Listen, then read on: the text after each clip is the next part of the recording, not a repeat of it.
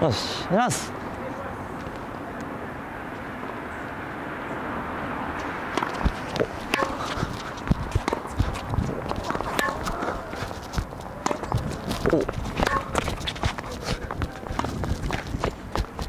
今ので僕がこうなるじゃないですか。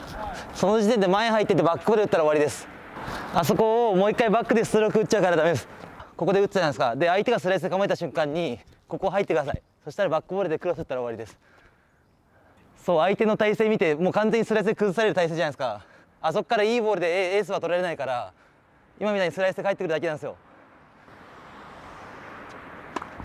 これと。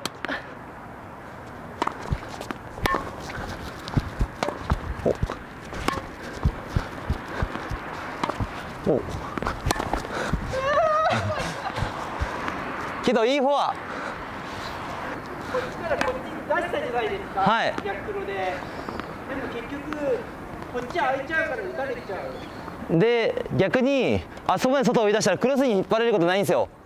こっからアングルによっぽど上手い人じゃないと打てないから来る場所っていうのがストレートから今の毛利さんいる場所のあたりで限定してその間にいればいいです。あそこで追い込んだら。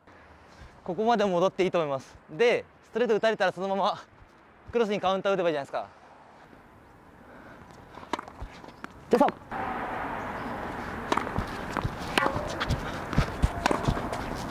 あとこれと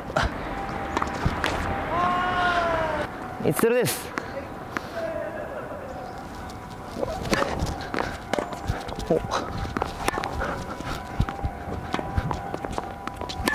お。わあ ナイスナイス。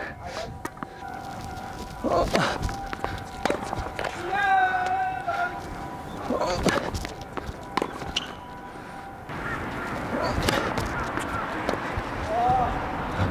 フィフティーンお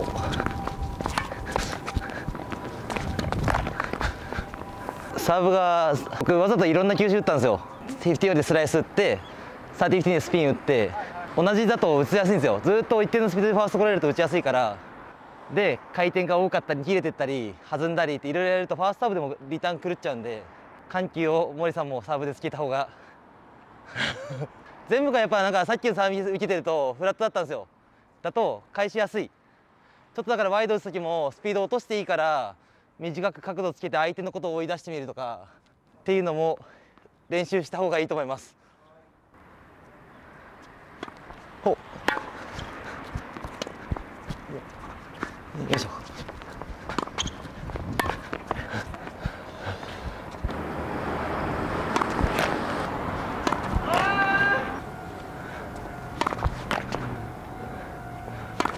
おわあナイスだ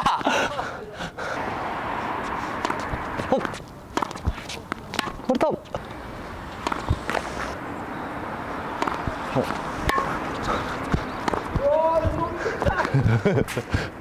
三ゼロです。よいしょ。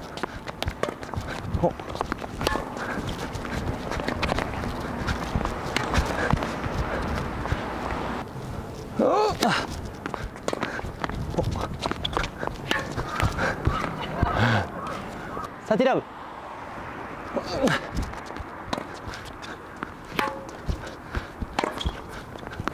わー、もういった、ナイスショットサティフティーン。おああと。フォーティフティーン。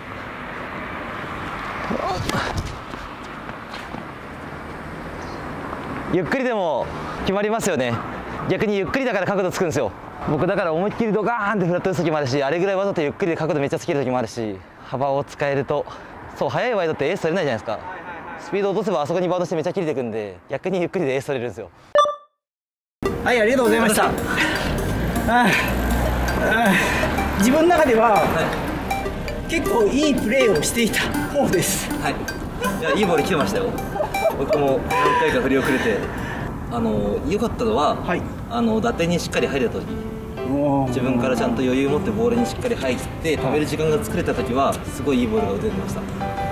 けどボールの緩急とか出された時に対応力がない まるでなしおですねはいそしてこっちからはもう単調ですよね。そう。なんでサーブも全部がセカンドもちょっと打ち急いで回転量がなくてすごい綺麗なサーブだったんで。序盤は多分キープできると思うんですよ終盤4455とかになってきた時に相手が慣れちゃって。るんであのショットとかっていうよりももっともっと相手の動きを見て気にするようにした方がいいです。まずは。なんかそう今多分森さん結構自分に一生懸命になってて相手がどこにいてどういう対戦をするか。って理解した上でプレーするだけで多分テニスが変わると思いますよ。そう1ゲーム目に放ったとか僕はあそこでイすだけですから。ねああもう前行って決められるんだろうなって僕は思い込んでたんですよ。でまあそうそこから始めようと思ったらあれ？森さん全然バック打ってミスってくれて何してんだろうと思って。いや正直あれで決まっちゃうかなと思ったんですよね。いやそうそこを決まってから相手がツーバウンドしてから相手のボールがアウトしてから満足してくださいあとはだからボレーカット練習してもいいのかもしれないですよこれかはい。相手がスライスでふわっと返ってきたのをボレーでオープンクールの来た時に落とす